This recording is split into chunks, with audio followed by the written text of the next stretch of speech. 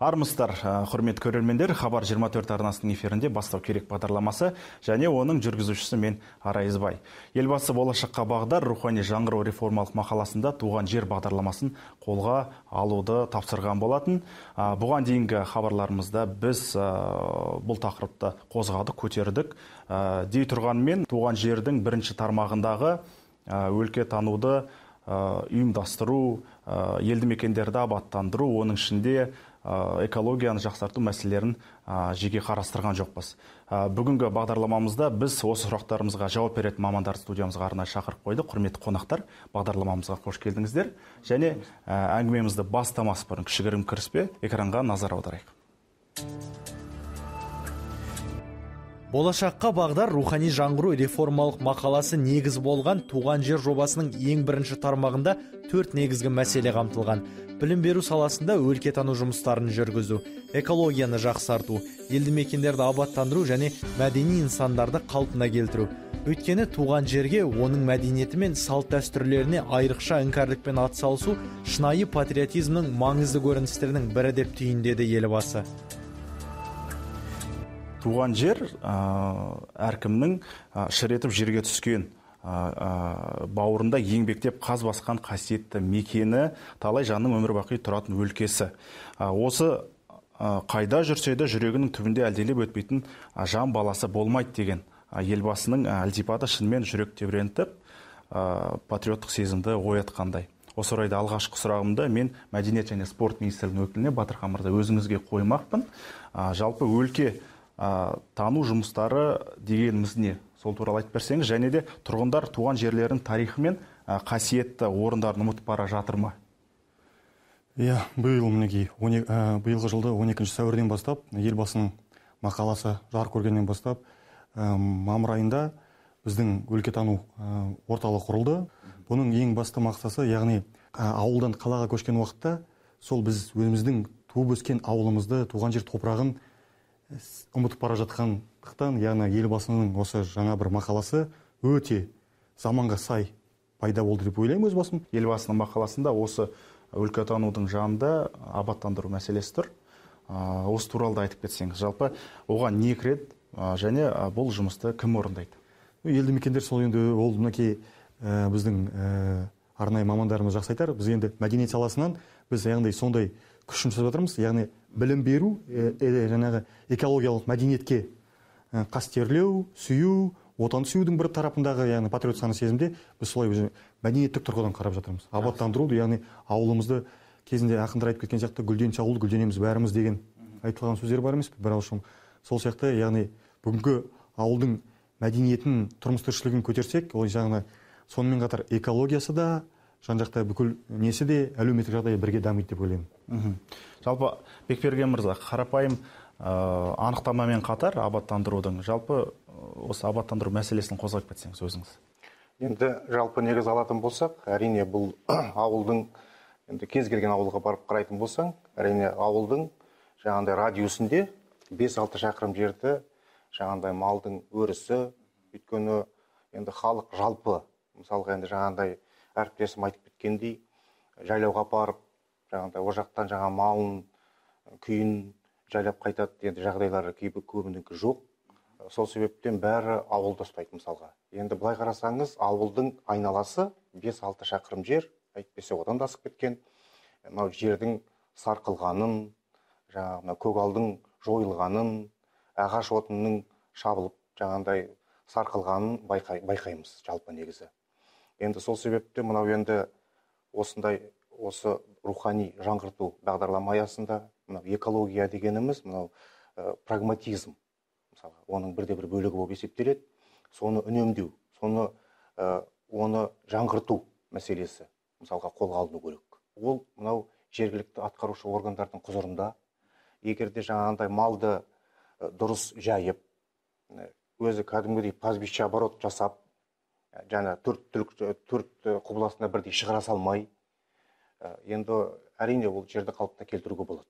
Бірақ бүгінгі таңда жердің тозығын жердің жаңағындай шөлейттенгендерін біз көріп отырмыз. Мхм. жалпы экология мәселесіне біз қайта ораламыз. А, ендігі сұрақ бибігүл ханым өзіңізге. Жалпы елбасы рухани жаңғыру бағдарламасында жеке билік пен меценаттардың өзара қоян қолтық жұмысының нәтижесінде қаламызды аз уақытта гүлдендіре аламыз деген болатын. Осы шараның алғашқы жемісін қашан көре аламыз? Әрине біздің астана қаламыз гүлденуіне сол бизнесмендердің да керектері болып отыр. Сондықтан да қазір бірінші әкімшілік мына сарыарқа ауданы осы қыркүйекте болатын ә, көгалдандыру ә, сенбілігінде сол кісілерді тартып отыр. Енді солардың бастамасы бар. Ә, жерін қала қазса ағашын біз әкелсек деп. Енді оны көре жатамыз. Сондықтан да сол сөз айтар айтылмастан осы жұмыстар басталып кетті. Осы орманды белдеу бойынша бағдарламасы бойынша қанша гектар ағаш отырғызды? Қазір тек қана астана көгалдандыру қоғамы бір жылда 20 мың көшетті қалаға беріп отыр.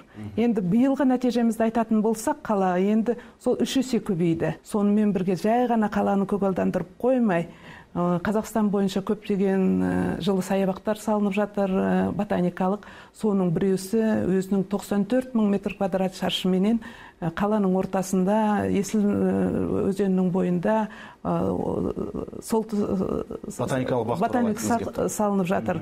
Сондықтан да бұның бір ерекшелігі қазақстанда соның алтауысы болса тура солтүстікте суығы қатты жазы аз жерде ботаникалық саябақ салу ол бір ерлік. Жақында ғана сол жерде біз болып қайттық. Азғантай бір түсірілім болған болатын. Енді осы орайда мен кезекті біздің арнайы тілшіміз дайындаған материалға бергім келіп тұр. Экранға назар аударайық.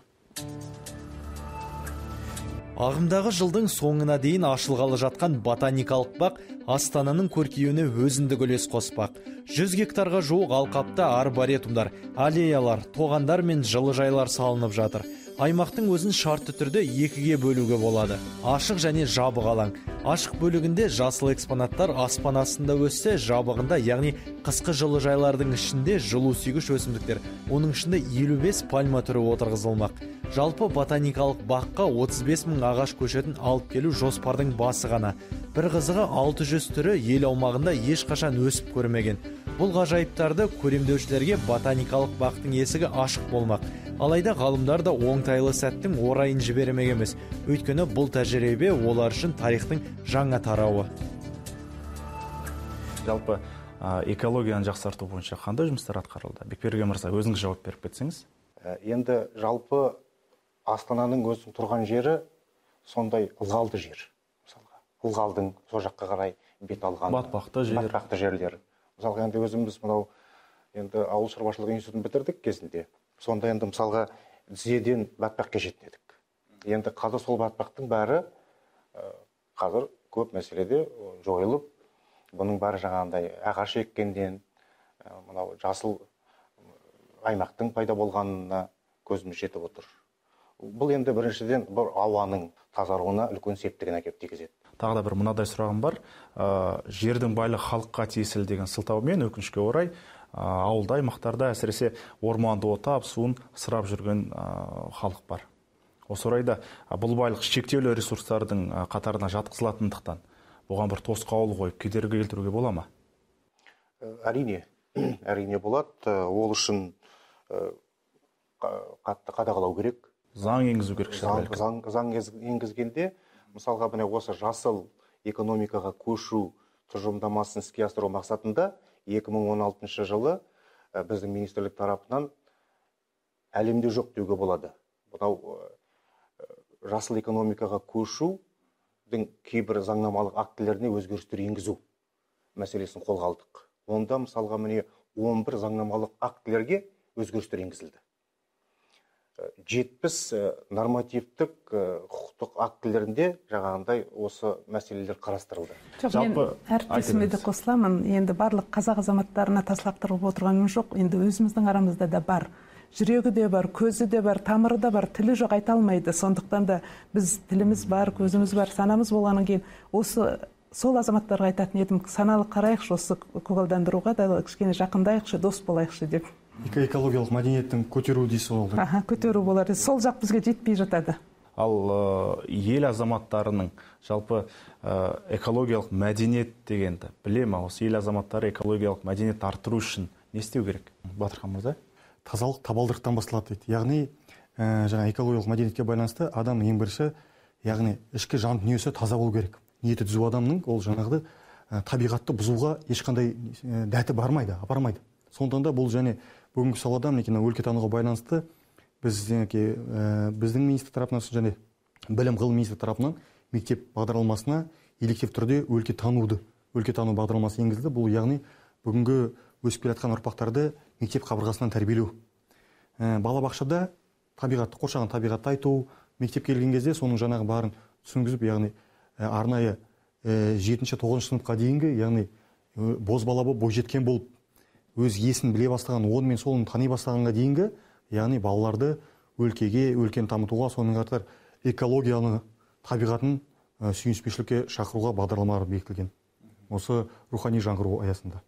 Экологияға байланысты тағы да бір мынадай дерек келтіргім келіп тұр. Екі мың он жетінші жылы өткен жылмен салыстырғанда орман және дала өртінің саны бір жарым есе көп болып ә, күл болған аумақ саны 18 есеге артқан екен. Мәселен жапонияны алсақ болады.